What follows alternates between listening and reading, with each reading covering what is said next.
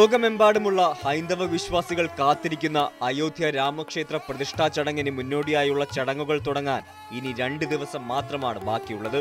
ചൊവ്വാഴ്ച പ്രതിഷ്ഠാ ചടങ്ങിന്റെ ചടങ്ങുകൾക്ക് തുടക്കമാകും. ഇനി അയോധ്യയിലേക്ക് വിശ്വാസികളുടെ പ്രവാഹമായിരിക്കും.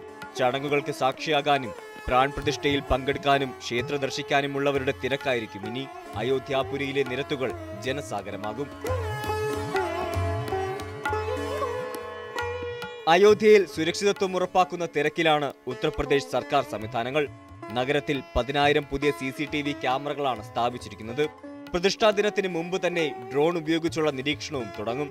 അനധികൃതമായി ഡ്രോൺ പറത്തുന്നതിന് നിരോധനവും ഏർപ്പെടുത്തിയിട്ടുണ്ട്.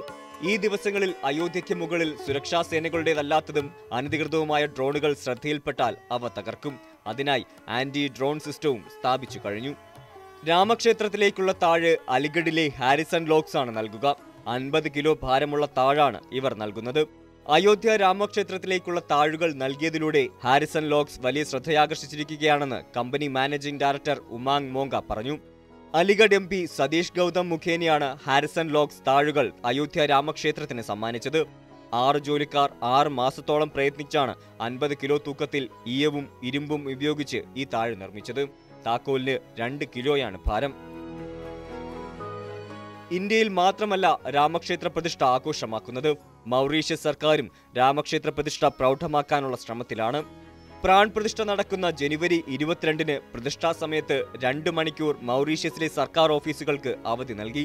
ചടങ്ങ് ടെലിവിഷനിൽ കാണാനും മൗറീഷ്യസിലെ ക്ഷേത്രങ്ങളിൽ നടക്കുന്ന ചടങ്ങുകളിൽ പങ്കെടുക്കാനുമാണ് അവധി നൽകുന്നത്. അമേരിക്കയിലെ വിശ്വ ഹിന്ദു പരിഷത്തും രാമക്ഷേത്ര പ്രതിഷ്ഠ ആഘോഷപൂർണമാക്കുകയാണ് അമേരിക്കയിലാകെ രാമക്ഷേത്ര മാതൃകയുടെ നാൽപ്പതോളം ബിൽബോർഡുകളാണ് ഉയർത്തിയിരിക്കുന്നത്. Texas Illinois New York New Jersey Georgia തുടങ്ങിയ സ്റ്റേറ്റുകളിലാണ് കൂടുതൽ ബോർഡുകളും സ്ഥാപിച്ചിരിക്കുന്നത്. പ്രാൺ പ്രതിഷ്ഠയ്ക്ക് മുന്നോടിയായി പതിനൊന്ന് ദിവസം നീണ്ടു നിൽക്കുന്ന അനുഷ്ഠാന പൂജാകർമ്മങ്ങൾ പ്രധാനമന്ത്രി നരേന്ദ്രമോദിയും തുടങ്ങി. നാസിക്കിലെ ഗോദാവരി തീരത്തുള്ള പഞ്ചവടി ശ്രീകല രാം മന്ദിർ സന്ദർശിച്ചുകൊണ്ടാണ് പ്രധാനമന്ത്രി പ്രതിഷ്ഠയുടെ അനുഷ്ഠാന കർമ്മങ്ങൾ തുടങ്ങിയത്. വെറും നിലത്തുറങ്ങുകയും അതിരാവിലെ എണീറ്റ് പ്രാർത്ഥിക്കുകയും ധ്യാനിക്കുകയും ചെയ്യുന്നതടക്കമുള്ളവയാണ് അനുഷ്ഠാന കർമ്മങ്ങൾ. സാത്വിക ഭക്ഷണം മാത്രമേ ഈ ദിവസങ്ങളിൽ കഴിക്കൂ. അതും വളരെ കുറഞ്ഞ അളവിൽ മാത്രം. പുരാണങ്ങളും വേദങ്ങളും വായിക്കുക ദിവസവും അല്പനേരം മൗനവ്രതം ആചരിക്കുക എന്നിവയും ഈ അനുഷ്ഠാനങ്ങളുടെ ഭാഗമായുണ്ട്. കാഞ്ചി കാമകോടി മഠത്തിന്റെ നേതൃത്വത്തിൽ നാൽപ്പത് ദിവസം നീണ്ടു നിൽക്കുന്ന ചടങ്ങുകൾ കാശി യാഗശാലയിൽ നടക്കുമെന്ന് കാഞ്ചി കാമകോടി മഠാധിപതി വിജേന്ദ്ര സരസ്വതി സ്വാമികൾ അറിയിച്ചു. അതേസമയം സ്ഥാനാരോഹണം സംബന്ധിച്ച് തർക്കം നിലനിൽക്കുന്ന ജ്യോതിഭട്ട് ശങ്കരാചാര്യ സ്വാമി അവിമുക്തേശ്വരാനന്ദ സരസ്വതിയെ ചടങ്ങിലേക്ക് ക്ഷണിച്ചിട്ടില്ല. മറ്റു മൂന്ന് ശങ്കരമഠങ്ങളിലെയും മഠാധിപന്മാർ മറ്റൊരു ദിവസം ക്ഷേത്രം സന്ദർശിക്കുമെന്നാണ് അറിയിച്ചിട്ടുള്ളത്. പ്രാൺ പ്രതിഷ്ഠാ ചടങ്ങുകളുടെ ഭാഗമായുള്ള അന്നദാനത്തിനായും മറ്റും ഇരുപത് ടൺ പച്ചക്കറികൾ ഛത്തീസ്ഗഡിൽ നിന്നും അയോധ്യയിലേക്ക് അയച്ചിട്ടുണ്ട്. പച്ചക്കറികൾ കൊണ്ടുപോകുന്ന ട്രക്കുകൾ ഛത്തീസ്ഗഡ് മുഖ്യമന്ത്രി വിഷ്ണുദേവ് സായ് ഫ്ളാഗ് ഓഫ് ചെയ്തു. കഴിഞ്ഞ മാസം ഛത്തീസ്ഗഡിൽ നിന്നും മുന്നൂറ് ടൺ അരിയും അയോധ്യയിലെത്തിച്ചിരുന്നു. അതേസമയം ഛത്തീസ്ഗഡിൽ നിന്നും ജൂണ അഖാഡയിൽ നിന്നും നാഗസന്യാസിമാരും അയോധ്യയിലേക്ക് തിരിച്ചു. ഉത്തരാഖണ്ഡിലെ പുണ്യനദികളിൽ നിന്നുള്ള ജലം ശേഖരിച്ചാണ് ഇവർ പുറപ്പെട്ടത്. ഗംഗ യമുന മന്ദാകിനി സരയു ഭാഗീരഥി രാംഗംഗ കാളിഗംഗ ദൗലിഗംഗ ത്രിജുഗി നാരായൺ നദികളിലെ ജലമാണ് സന്യാസിമാർ പുണ്യകലശത്തിൽ ശേഖരിച്ച് അയോധ്യയിലെത്തിക്കുക. ചടങ്ങിൽ പങ്കെടുക്കുന്ന അതിഥികൾക്ക് രാമജന്മഭൂമിയിലെ മണ്ണ് സമ്മാനിക്കും. രാമജന്മഭൂമി തീർത്ഥ് ക്ഷേത്ര ട്രസ്റ്റ് ഇവിടെ നിന്ന് ശേഖരിച്ച മണ്ണാണ് പ്രത്യേക ബോക്സുകളിലാക്കി നൽകുക.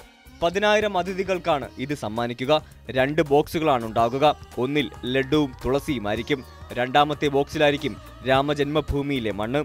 സരയൂ നദിയിലെ പുണ്യജലവും ഇതിനൊപ്പം ഉണ്ടാകും. ഖോരപ്പൂർ ഗീതാ പ്രസിൽ അച്ചടിച്ച രാമചരിത മാനസവും അതിഥികൾക്ക് സമ്മാനമായി നൽകുമെന്ന് രാമജന്മഭൂമി തീർത്ഥ ക്ഷേത്ര ട്രസ്റ്റ് അറിയിച്ചു.